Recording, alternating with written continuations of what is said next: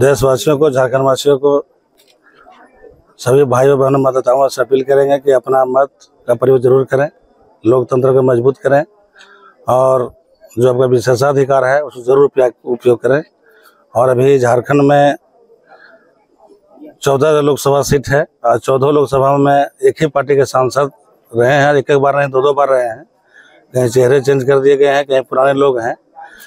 लेकिन चेहरा चेंज करने से कुछ नहीं होता है। सर, यहाँ किसी पार्टी भी सरकार हो, जनता का लाभ चाहिए। बिजली, पानी, सड़क, दुख सुख में प्रतिनिधि, कंधे से कंधे मिलाकर चलने प्रतिनिधि। लेकिन दस बरस न जनता जान पाई कि सांसद कौन था, और सांसद भी नहीं जान पाए कि अमुक का तो बूथ किधर है, कौन पंचायत किधर है, कौन गाँव किधर है।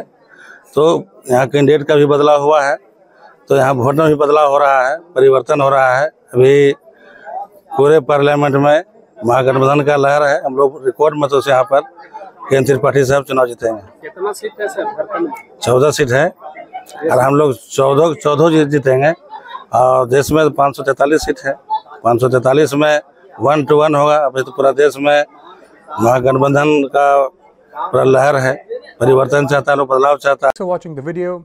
If you like it, please press the like button, share your views in the comment section, and please subscribe to India News TV for more such updates.